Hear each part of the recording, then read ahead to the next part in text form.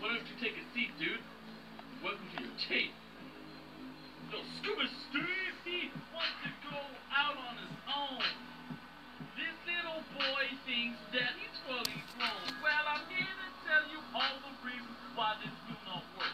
When I'm finished with you, bro, you'll be back down in the dirt. Number one, Scuba Steve, hey, where'd you get your name? Oh, yeah,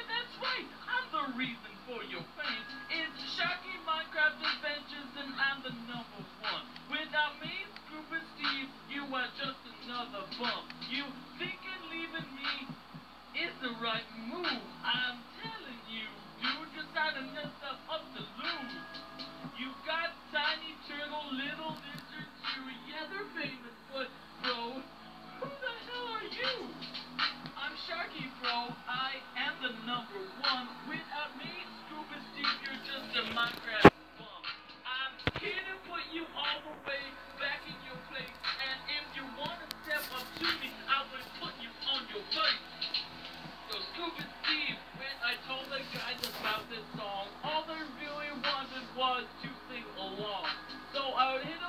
up little Kelly and I told her what's up.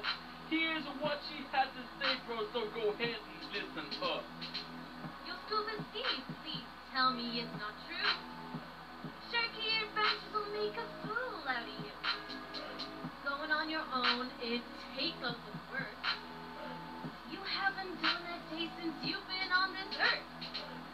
You understand all the hours it takes? How could you grow? Cause you take one million. Hey, yo there, Sharky, this has been loads of fun.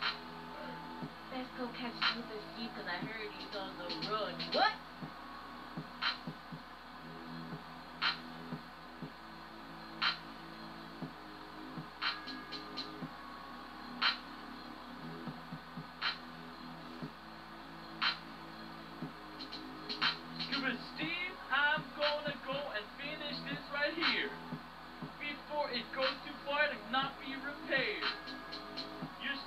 bro, so come on and come home.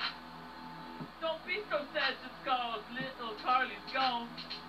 I'm number one, and you're number two. So tell me, bro, why would she even think of staying with you? It's not my fault that she liked me more, or that the night that she left you, she came knocking